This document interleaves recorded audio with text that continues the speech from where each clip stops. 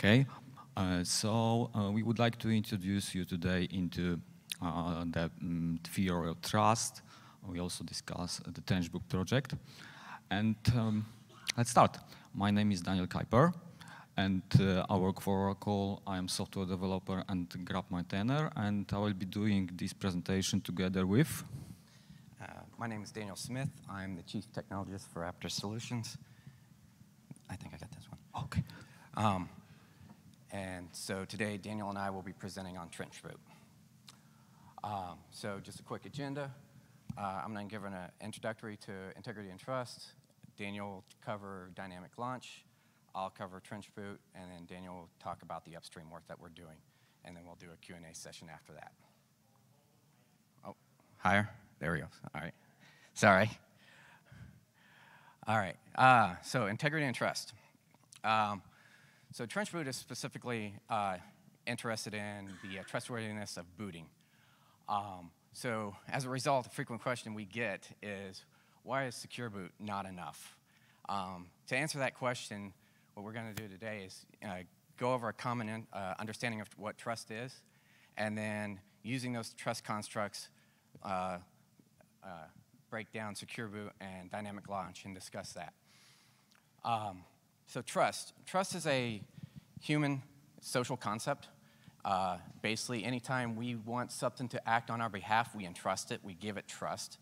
Um, this is the same thing with computer systems. When we want the computer to do something on our behalf, we give it our information.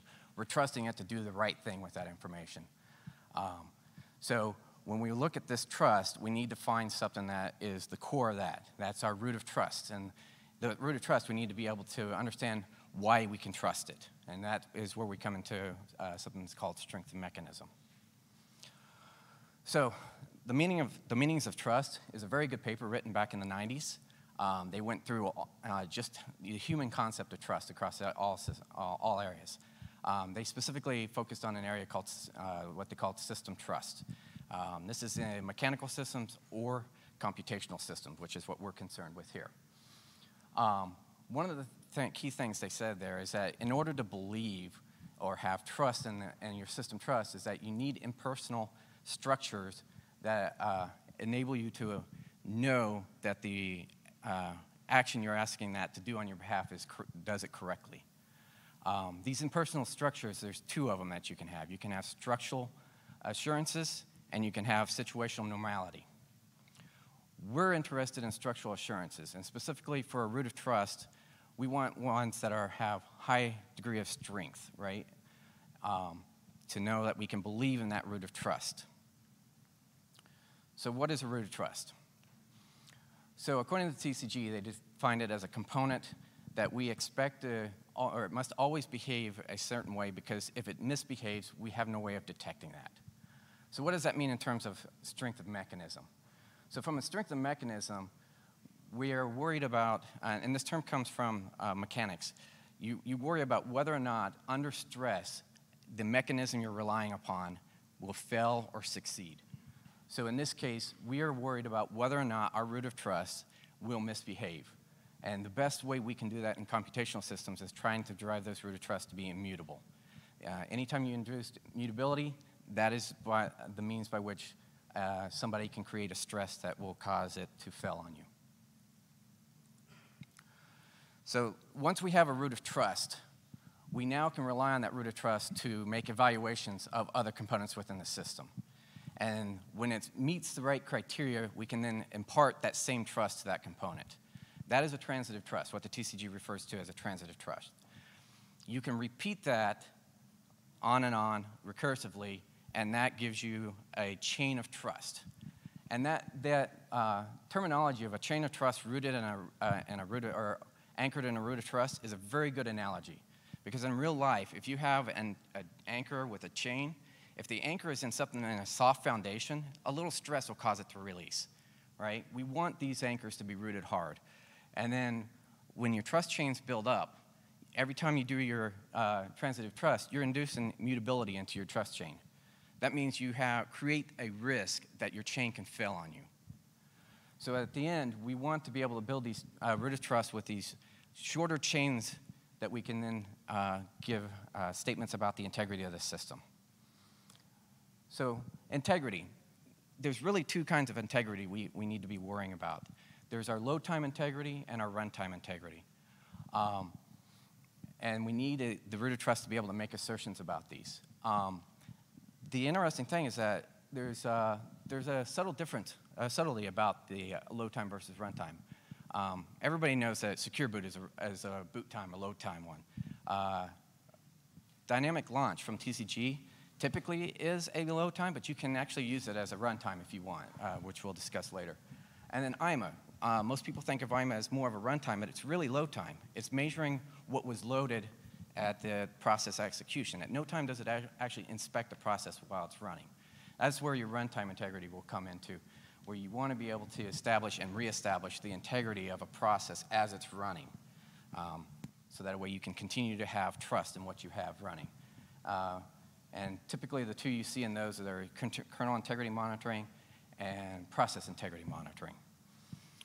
So now that we've built up a root of trust, how we can expand that root of trust to uh, components, use those to uh, give you integrity. I'm going to let Daniel touch on uh, dynamic launch. Thank you, Daniel, for this theoretic uh, uh, introduction. Uh, I would like to look a bit closer to the dy dynamic launch. first of all, the terminology. This is quite important here because it is very conflated.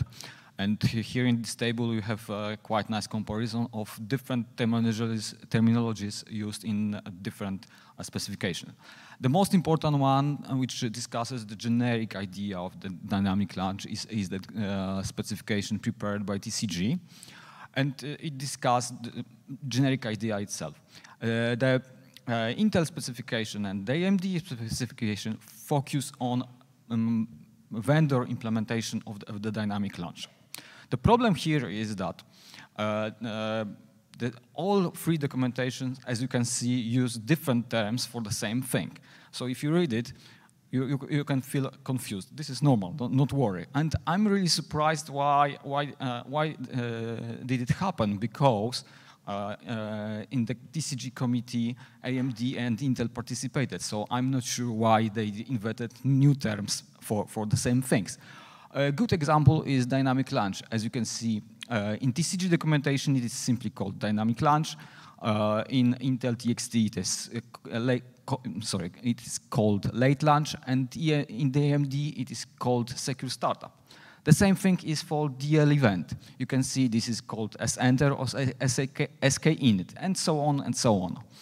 Uh, there are also some terms which doesn't have relevant terms in the vendor specification like DCIRTM. In general, in this presentation, we will be using uh, terminology, terminology proposed by TCG, but if we are referring to specific implementation of uh, uh, specific uh, uh, implementation of dynamic launch, then we will be using terminology uh, of a given vendor. So let's look at, let's compare UEFI, Secure Boot Trust, and Dynamic Launch Trust. So if you start the machine, you have something like, uh, you, you, get a, a, machine started and uh, uh, all firmware is taken from, from, uh, uh, from the flash. And initially, the sec phase uh, in the UEFI is executed, which does mm, basic, basic initialization of, of the platform. And the control is passed from the sec to PEI.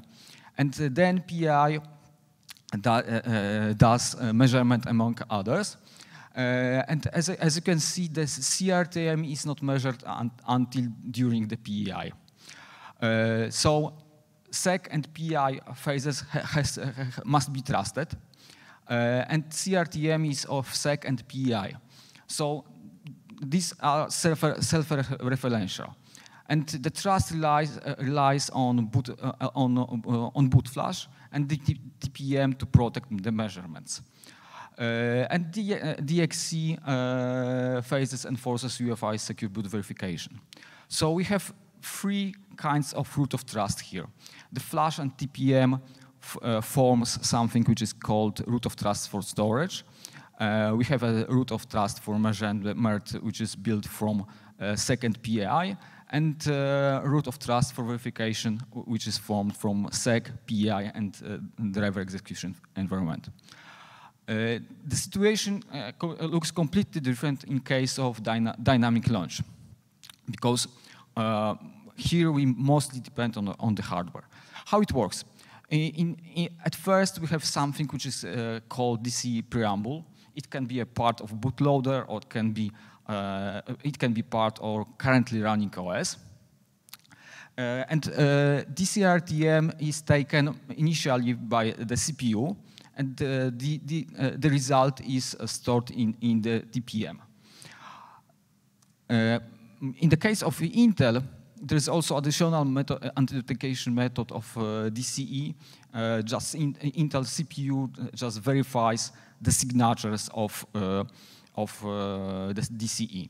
And if, uh, if uh, after that, uh, the control is passed to DCE, and DCE also measures the DLME and put the results in the 2TPM. Uh, how, let's look into today how the uh, dynamic launch uh, uh work. So initially, the CPU obtains locality number four, and uh, the, uh, the TPM, and it clears the TPM, DRTM PCRs.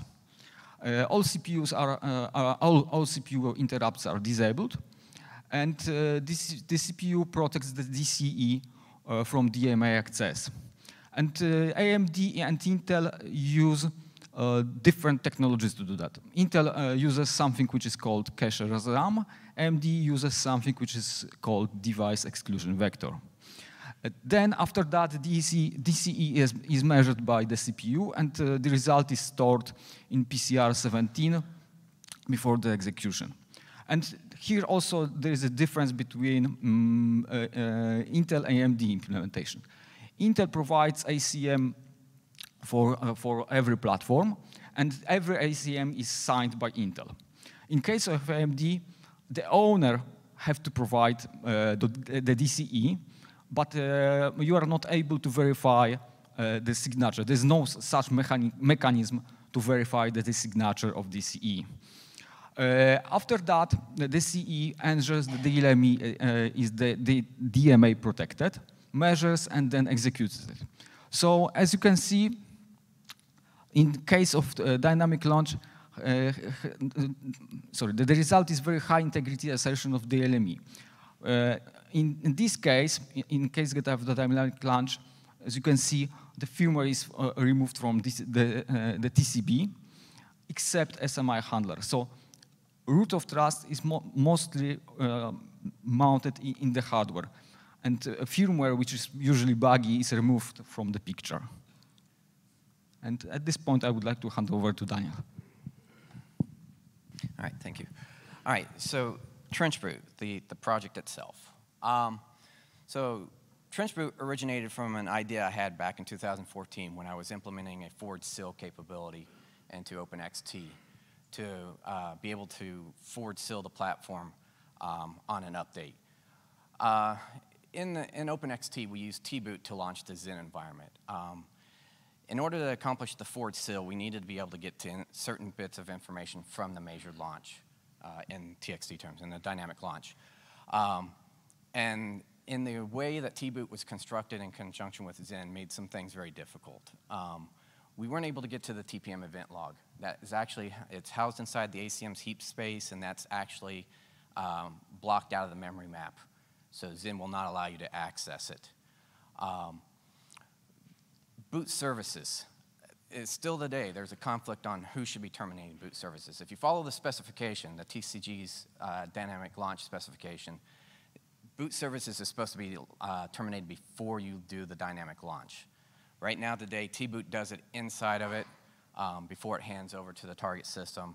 And in our case, for this uh, situation for OpenXT, TXT, or I'm sorry, Xen likes to have access to boot services as, well. So we have this conflict here.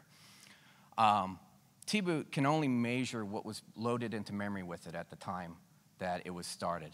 Um, only the multi-boot modules. There, there's nothing else that it has the knowledge of how to do or even uh, considered. Um, and it only had one action, attestation action. It basically can do a policy enforcement on a PCR, predetermined PCR manifest. Um, it had, and that's the best you can get out of it. Um, and then it only works for TXT. There was an attempt to uh, consider putting AMD support in it, and they turned it down. So, you know, we need to be able to, uh, specifically on OpenXT, we needed to be able to support um, both AMD and, and Intel.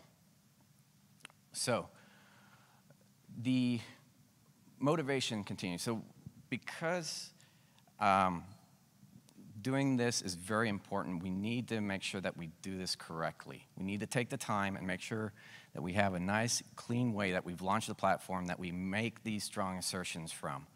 Um, so we, uh, the project is meant to focus on solving this problem for everybody. Um, and then in the past, dynamic launches have been used just for the initial boot phase. And the fact is, is that dynamic launch can be ran multiple times through the entire life cycle of the CPU. Or, uh, sorry, uh, of a power on, power off sequence. Um, so it's an opportunity to establish the current integrity of the platform at any time, if you want so chose to do so. Um, and on top of it, in the last you know, four years now, four or five years now, launch integrity ecosystem has gotten extremely rich. Um, there's numerous roots of trust. The roots of trust have evolved in terms of measurement. Secure co-processors have shown up. SPI interposers are in place now. You've got hybrid solutions starting to come out. And then on top of it, you have vendors adopting these capabilities into their products. Um, so we want the open source system, uh, open source ecosystem to have these things as well. So TrenchBoot is a cross-community integration project. There is not a one thing that is TrenchBoot. We're trying to bring these capabilities to all of the open source uh, projects that are involved in this. Um, one of the questions I've gotten is, where did I get the name? So when, when I was working through all of this, starting back in 2014, and looking at all the, the launch integrity system and, and the hardware and everything else, it's, it's a muddy mess. Um, and you know, just trying to find a way to unify all of that in a way that all open source projects could use is just, it, it, I joked at one point that it's like I got to strap on a pair of boots to make, wade my way through this that several other people have gotten stuck in. Um, so at the end, the purpose is to develop a common unified approach to building trust into the platform during the launch phase of the, plat, uh, um, of the platform.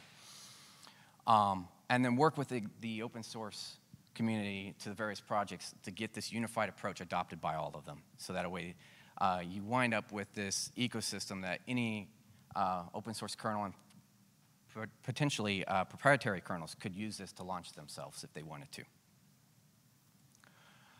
So this brings us to the first capability we've been working on, which is what we're calling secure launch for Linux. So secure launch for Linux is the uh, attempt to bring the uh, to enable the Linux kernel to be dynamically launched by both AMD and Intel. Um, specifically, the focus is on a first launch scenario, which is what everybody is very familiar with. You're using uh, you know, the dynamic launch as part of your boot cycle to establish the, the initial uh, integrity of the platform. But you can actually, uh, we're looking at runtime integrity as well, runtime launches. So that way you can actually um, use this to launch your up kernel upgrade through a kexec. You could launch a, an integrity kernel that could sit there and dynamically inspect your system. Um, or if during a shutdown you want to make sure you want to establish the integrity of your platform before you persist everything to disk, such as in embedded environments, this is a chance to, for you to do that. So the, uh, to compare that with the existing uh, ecosystem of dynamic launch, um, like I said, there's been numerous attempts to, to bring dynamic launch into the open source community. Um, a lot of these, or actually all of these, have been focused purely on the uh, first launch use case. Um, the Intel-based ones are actually exokernels because they try to persist themselves for the entire runtime of the system, and in an exokernel fashion, they hook the, uh, uh, the sleep states to handle uh, de dealing with the fact that your trusted kernel went into a sleep state. From my perspective, that's not the appropriate approach, but we can talk about that later. Um, and then they have a limited or no attestation capability built into them at all. So the first use uh, case, first launch use case, uh, standard use case, everybody knows this. Uh, the difference that we're doing with Trench Boot is we're going to expand on it a little bit. So we're going to properly terminate boot services by the bootloader and then handle the EBS uh, handoff using Linux's existing EFI capabilities to uh, launch itself after uh, exit boot services. Um, Google has this uh, amazing project called uroot, in which they're building uh, these tiny init RDs for a variety of solutions um, for embedded bootloaders and those. So it was a good means for us to build a flexible way of doing measurements and attestations during this launch phase. Um, the current focus right now is to be able to measure block devices, files, and system information like DMI, and then to be able to take those measurements and do attestations and then establish the integrity of your platform before you allowed your target system to start running. Um, and then uh, we will be using the KExec interface to do the launches. Uh, when we exit, or when, we're, when the secure launch phase is completing, we cap the PCRs on all platforms. That's a means by which we can say we're done. Um, Intel provides us the extra capability that I wish AMD had, which is the S-exit instruction, which allows us to basically close off access to the uh, PC, DRTM PCRs. So that way the measurements can, those PCRs can no longer be extended after we're completed. Um, and that closes up the first use case. So to, to uh, give a basic walkthrough, walkthrough of it, um, right now Grub will be able to take measurements if you so choose to. It's optional of everything it's about to load into memory to start the late launch, or the dynamic launch, excuse me. Um, it will load either the secure loader or the ACM, depending on whether you're an AMD or uh, Intel. It'll load a Linux kernel that is capable of handling the dynamic launch, the secure launch capability. And the, it will then call the respective event, late launch or dynamic launch event. Um, at which point the ACM will hand out, do its business. That's proprietary to Intel. It will hand off to, directly to the setup header or the setup code inside the kernel. And the secure loader, we have a project where we're building one and making, uh, which is going to be uh, is open um, for AMD, which will basically set up the environment and transition into the setup uh, code for the Linux kernel. Inside the set setup header, we, we are, Daniel will cover this in a little more detail, We'll take the measurements of uh, what's necessary within the kernel. So we'll, we, right now, we're uh, when the Piggy has been expanded into the VM, VM Linux, we take that measurement, we measure the init RD, so that way we have the, at least those two measurements of the things that we're going to give execution to before we turn them over. Um, once you get into the init RD, it can then take, it will consume a policy file, which will tell you what you want to measure. It will measure those into the TPM and then execute your target runtime. And with that introduction, I will turn it over to Daniel to cover the status on upstreaming. Oh, thanks, Daniel. Uh, I would like to discuss how this idea of the trench boot map uh, to, the, to the current upstream project. But uh, at the beginning, I would like to say something about history of the project. The project was initiated by Apertus Solution, and uh, the company invited the cooperation Oracle and 3mdeb. Uh, 3mdeb is a small company in north part of Poland which focuses on uh, developing uh, open uh, source firmware for embedded platforms. And in general, Oracle focuses on Intel uh, implementation of Trench Boot and 3mdeb focuses on um, mm, DAMD implementation. So how this, how, how this whole idea of, of the Trench project applies to uh, specific projects. First of all, the, the GRUB. It was decided to uh, provide uh, DCE, DCE preamble for, for the GRUB at first because uh, this is the most common bootloader in current deployments. So uh, we are uh, we are working currently on on on, on the on this project, and we have to do some uh, some changes uh, uh, in the code. First of all, we have to extend the uh, Linux boot protocol with a special additional kernel info structure, which I will discuss a bit later. we have to also add some additional co commands to identify the secure launch phase and uh, additional commands to load the DCE modules for Intel and uh, for AMD separately.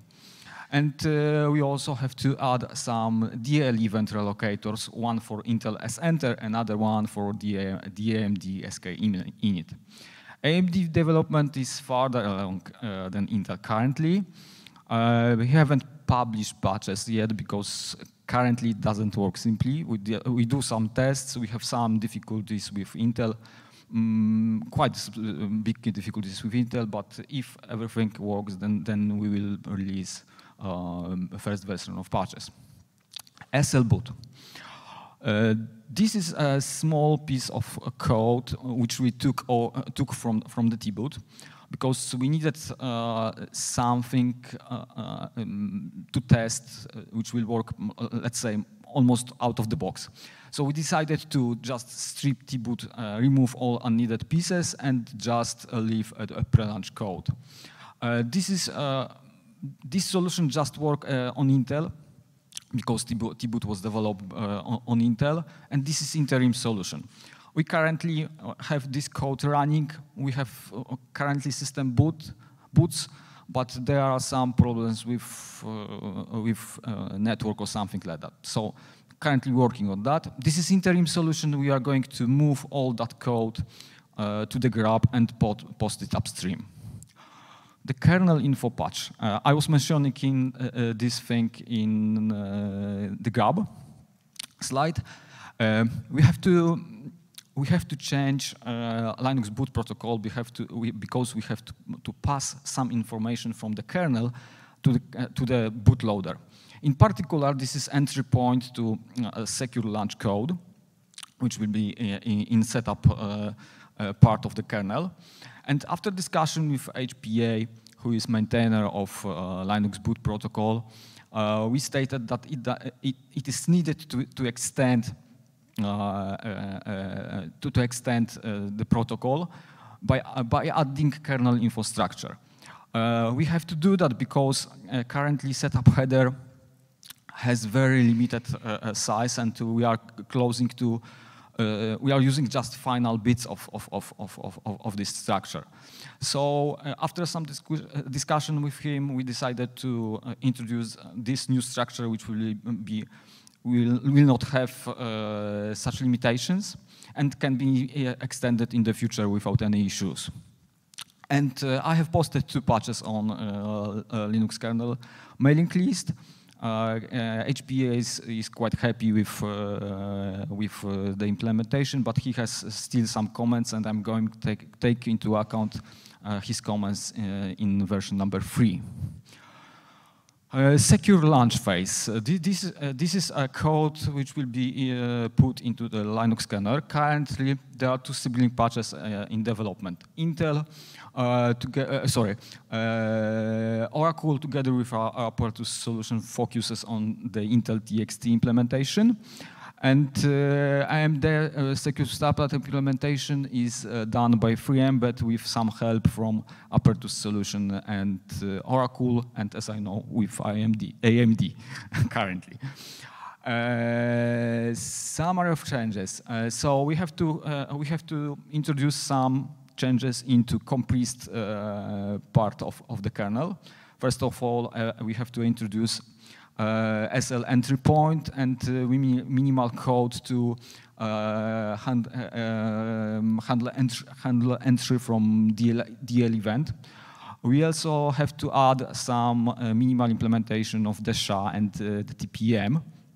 But, uh, and this code currently exists, but uh, after some reviews, we realized that it is possible to optimize uh, the TPM logic and uh, make the code, uh, make the code uh, smaller.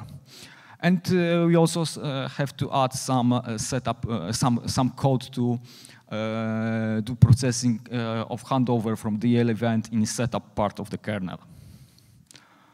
And your stuff.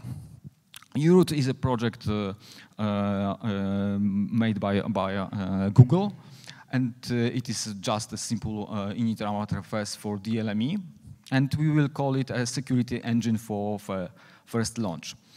Uh, we have to add a uinit app uh, uh, that functions as a core engine, for processing a policy file uh, which describes evidence collectors, attestors, and what launcher to run. We have to add a, a measurement library that provides a core set of evidence collectors. And we'll be using uh, currently existing booting capabilities in the u-root to implement a kexec launcher. And we are going to provide uh, attestation in the LME uh, in later phases, in, in later phases of, of development. Uh, when we discussed the, pro uh, uh, the project among, among the people, it appears that there are more and more features needed, but we are not able to do to, to, to provide all of them uh, at first step. So there, are, there is um, growing to-do list, and first of all, uh, first thing uh, which I think is uh, worth mentioning is extending the kexec with DC preamble implementation. This, this way, you will be able to uh, uh, re restart dynamic launch from the running OS.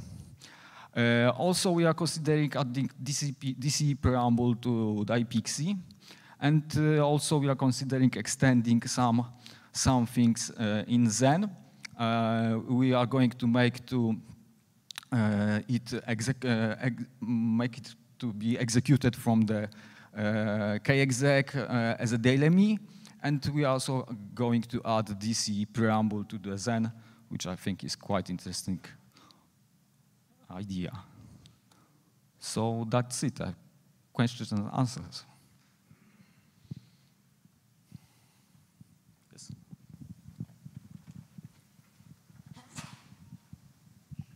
Hi. Uh, so you mentioned being able to get away from having the boot firmware as part of the TCB.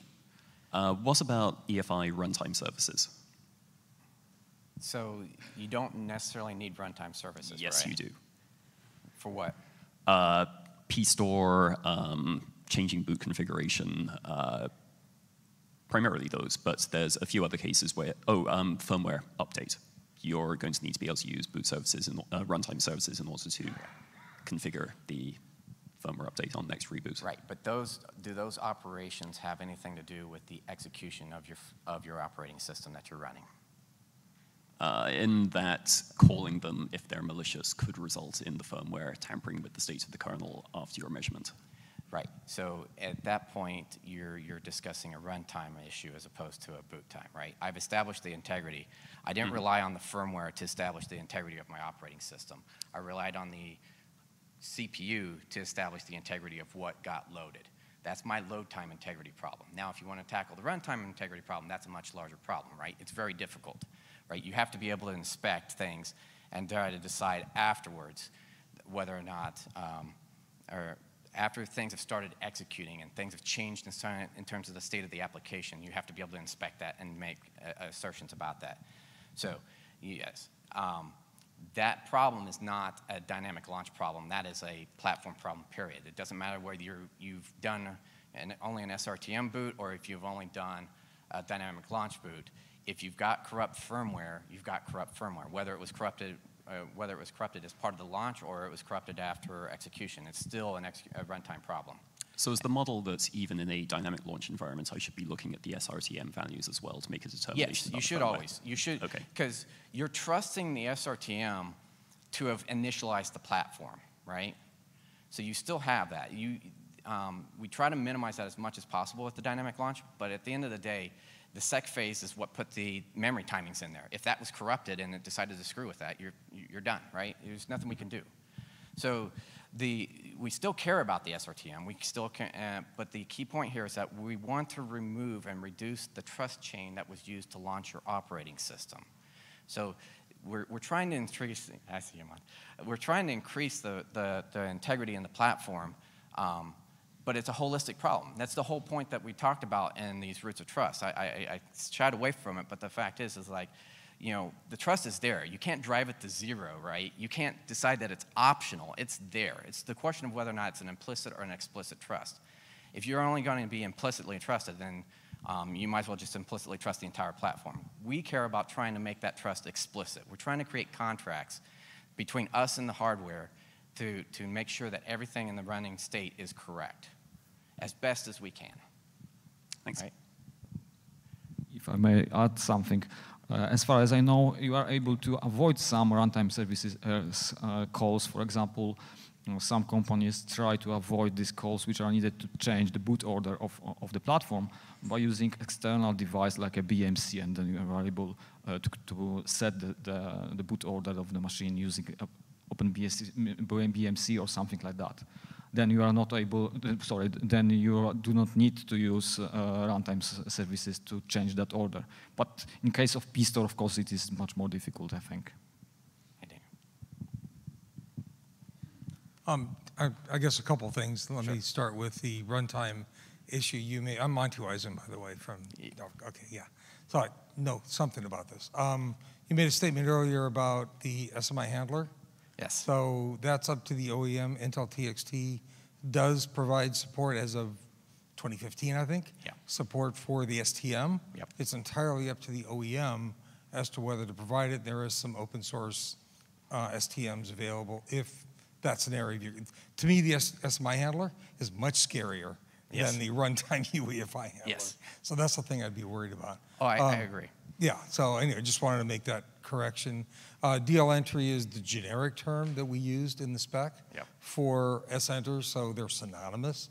Didn't want to, you know, put SENTER into an industry um, standard specification. And there was one other um, correction I wanted to make, but I'm drawing a blank on it right now. But Yeah. I could probably give you some help in this area if you would, Thank you. if you would like. I mean, yes, you're correct. So just to touch on your point, so for those that aren't aware, there is coreboot. They actually are implementing TXT support as well as STM support. So what Monty was get, touching at is the fact that when you do a dynamic launch, an SENTER on an Intel TXT platform, and you have an STM present, the ACM will actually interact with the STM to establish the integrity of your SMI handler. Um, until more uh, um, mainstream providers adopt that, Dell, HP, um, you know, we don't have anything that, that can handle the SMI. Everybody, everybody's beholden by the SMI at this point, the handler. So, all right, any other questions, Any comments? comments? Nope. All right, thank you very much. Thank you, guys.